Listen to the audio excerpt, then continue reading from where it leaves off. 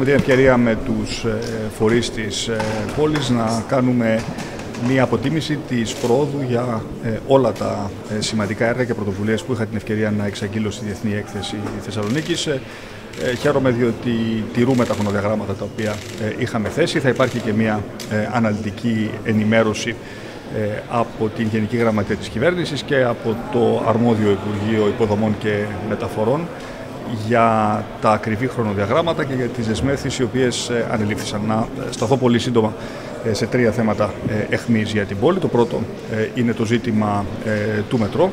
Εξακολουθεί να ισχύει η δέσμευσή μας. Το μετρό θα λειτουργήσει εξ ολοκλήρου και θα παραδοθεί τον Απρίλιο του 2023 με το σταθμό στη Βενιζέλου να αναδεικνύει με τον σωστό τρόπο την πλούσια πολιτιστική παράδοση της πόλης. Εκτιμούμε ότι μέχρι τα τέλη ε, του έτους το Κεντρικό Αρχαιολογικό Συμβούλιο θα έχει δώσει την έγκρισή του για να προχωρήσουμε στην κατεύθυνση την οποία έχω ήδη δρομολογήσει.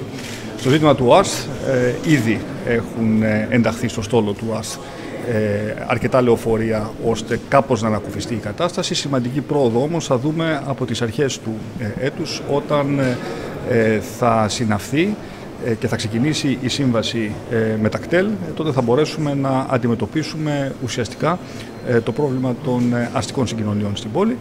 Και τρίτον, σχετικά με το ζήτημα του flyover της ε, περιφερειακής, θα υπάρχουν συγκεκριμένες ε, ανακοινώσεις ε, από το Υπουργείο Υποδομών, έργο το οποίο προχωράει πολύ γρήγορα και εκτιμούμε ότι θα μπορεί να δημοκρατηθεί εντός ενός έτους.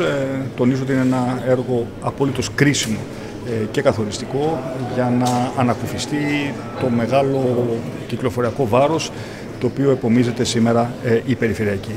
συζητήσαμε και μια σειρά ε, από άλλες ε, πρωτοβουλίες. Θα υπάρχει αναλυτική ενημέρωση ε, από τους αρμόδιους υπουργούς καθώς και από τους φορείς της πόλης. Ευχαριστώ πολύ.